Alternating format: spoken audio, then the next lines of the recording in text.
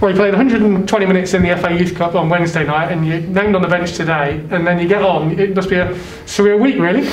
Yeah, it's a good week. Um, we struggled uh, Wednesday, um, but we had good character to obviously pull it back, and um, I think the boys done well in the end. Mm. We dug deep and we done well, and obviously being asked to be on the bench tonight was obviously a proud moment for me and my family.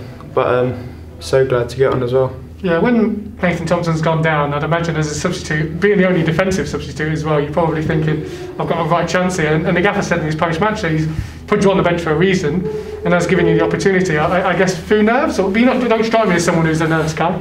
I mean, at the start he told um, two others to get warm, and it was a bit like, oh, okay, then I'll stay here, but I'll be ready. And then 10 seconds off, it was Ronnie, you're coming on, so it's a bit of a shock, but obviously.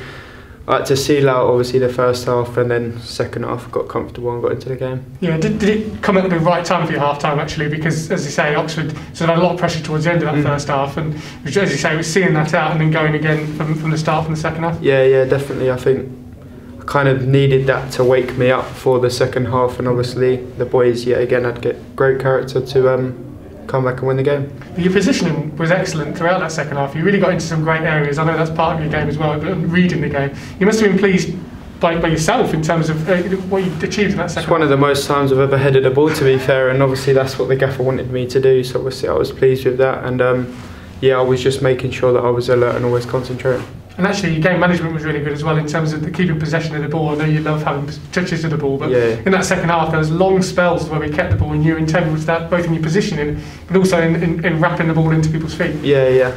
Obviously that's my biggest strength, just keeping it nice and calm, um, getting on the ball, little touches. Um, but yeah, I thought we kept the ball and managed the game very well. And when we got 2 1, obviously, ahead Jack Taylor with the, with the goal. I, I guess, again, they didn't really cause us too many problems in terms of shots on goal, but they had a lot of possession, so you had to sit in at times and make sure you were you were disciplined in that respect. Is that something that's mentally what you have to really in tune with? I think it's more just concentration. Obviously, always checking your shoulders, speaking to um, the boys, check right, check left. It's more just concentration, yeah. Mm, And how important were people like Frankie and, and, and Pimmy behind you in that communication? Yeah, yeah, they helped me out a lot tonight. Obviously, they knew it was going to be hard when I come on. Um, you could say I kind of struggled when I come on at the start, but obviously, second half, proper eased into it and helped me out a lot.